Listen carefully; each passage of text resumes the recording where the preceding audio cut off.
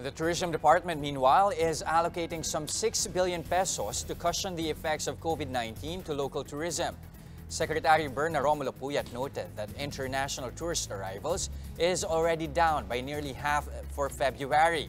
She says the government will roll out several public-private initiatives to promote domestic tourism and make up for this loss. Of the 6 billion peso fund, 2.2 billion pesos will be used for infrastructure development in top tourist spots, including Coron and Puerto Galera.